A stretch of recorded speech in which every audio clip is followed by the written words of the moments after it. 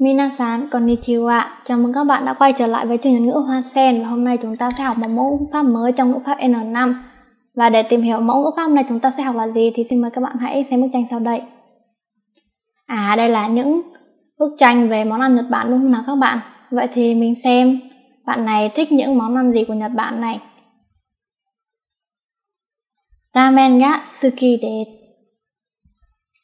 Tempura ga suki desu. Sukiyaki ga suki desu. Sushi ga totemo suki desu. Vậy, thì trong những món ăn này thì bạn này thích món ăn nào nhất nhỉ? Và câu đấy trong tiếng Nhật chúng ta sẽ nói là Nihon ryori de nani ga ichiban suki desu ka? Watashi wa Nihon ryori de sushi ga ichiban suki desu.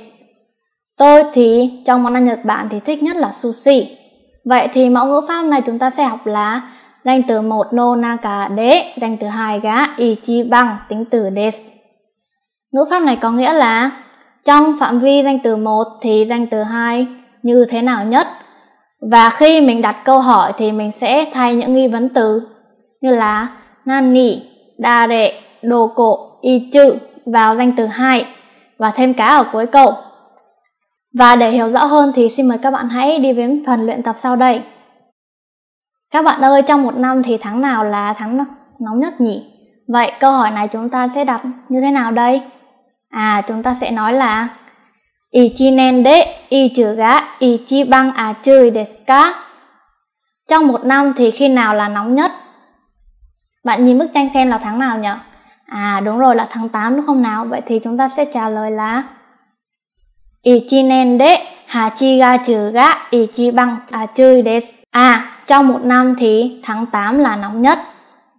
Rồi, xin mời các bạn đến với ví dụ tiếp theo. Rồi, trong một lớp học thì bạn nào là giỏi tiếng Nhật nhất nhỉ các bạn nhỉ? Thì câu này trong tiếng Nhật mình sẽ nói là Kyoshi de dare ga ichiban nihongo ga zozu desu ka? À, trong lớp học thì bạn nào là giỏi tiếng Nhật nhất? Và bạn, các bạn thấy ờ, khoanh tròn và bạn An đúng không thì mình sẽ trả lời là Kyoshi chữ de an san ga ichi bang nihongo ga jozu desu.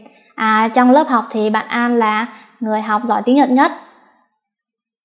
Và bài học đến đây là kết thúc. Cảm ơn các bạn đã theo dõi bài học ngày hôm nay. Và nếu các bạn có bất kỳ thắc mắc gì thì xin các bạn hãy để lại bình luận ở phía dưới.